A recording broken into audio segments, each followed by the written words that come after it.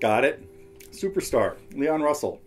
And Bonnie Bramlett, of course, made famous in 1971 by Karen Carpenter. Uh, but the song had been around for a couple of years and uh, actually written by, well, let me tell you a little bit about the lesson first. Then I'll give you the history on the song because this is a song I have just um, loved my whole life. And it was, well, since I first heard it.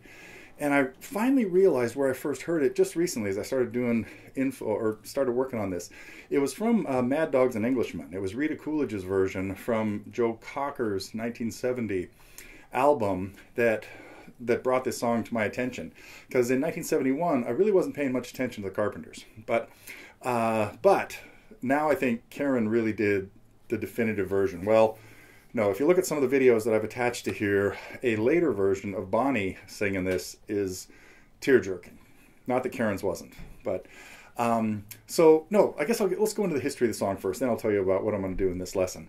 So um, Rita Coolidge, there was a whole group of, there was a cadre of musicians hanging around Delaney and Bonnie and friends. That included Eric Clapton and Leon Russell and Rita Coolidge, and some of the group went on to be part of Derek and the Dominos that Clapton formed right afterwards. So this is in about 1969, and um, they uh, Rita kind of came up with this idea of, you know, writing a song about a groupie. Matter of fact, that was the original title.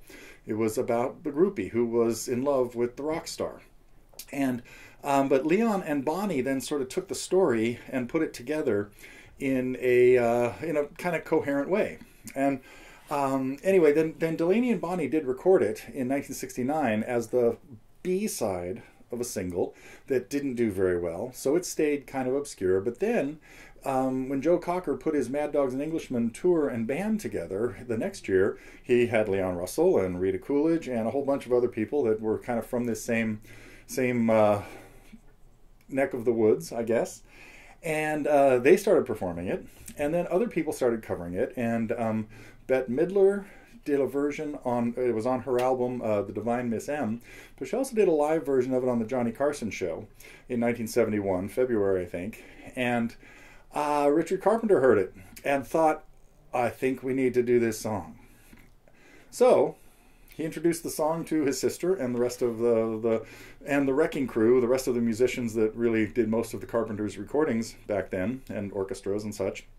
And they did they did a lot of changes to it. In particular, they had to change the lyrics. They had to soften it up a little bit because of a line in the original about "I can hardly wait to sleep with you again." Not quite um, Karen Carpenter material. So they they changed that line a little bit.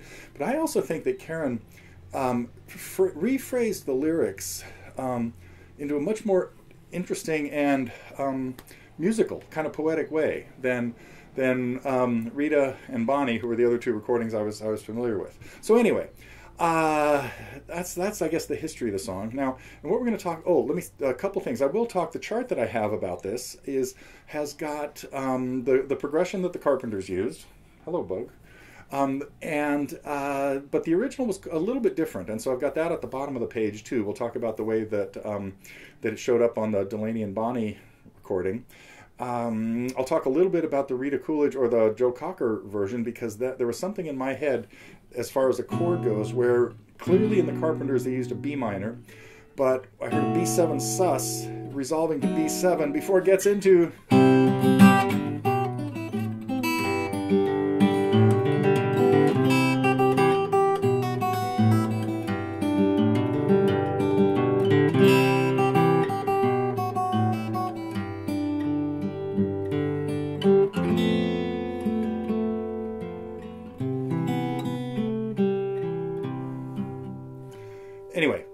Work on the instrumental version of that just yet because I still haven't settled on if I'm going to do an instrumental version whether I want to do it in this key or not. Now, speaking of keys, the original was in F minor, which if you need to do it in that key, you can take my lesson and put a capo at the first fret and you can play along with any of those versions.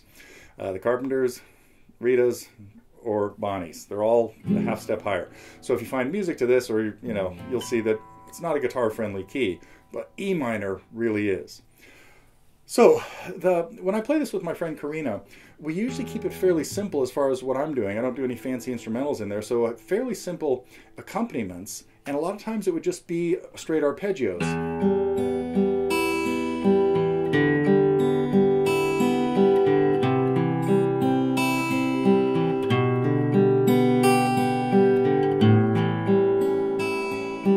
Maybe a little passing bass notes. And here's what it sounds like suspended.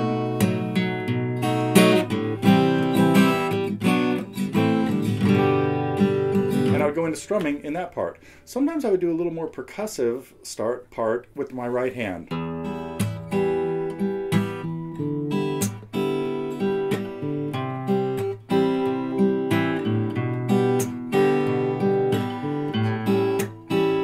Talk about both of those right hand techniques as far as this goes in the lesson, but mostly we're going to just talk about the chord progression and some variations in the chord progression. And um, the introduction that Richard Carpenter came up with is very unusual. You just heard me play that a few minutes ago. And it's not a real guitar friendly thing. There are some unusual chords, some stretchy ones. Gets to the E minor. And he was brilliant at this, with, with coming up with um, some jazzy, slightly off the wall little things. So I really, uh, I think he did a great job arranging this song for for uh, for the band and for Karen. So okay, I think that is enough um, enough talk and uh, ideas about what's coming up. Let's uh, let's head into the lesson on Leon Russell and Bonnie Bramlett. Although Delaney, her husband at the time, also uh, gets a little bit of songwriting credit for this, and Rita Coolidge really could should too because uh, she really seems like she came up with the idea and um, just didn't just didn't get her name on the page. So anyway, that's it. Coming up, a lesson on Leon Russell's. I tend to think of it as Leon's song because I'm a big fan of his. Uh, Superstar.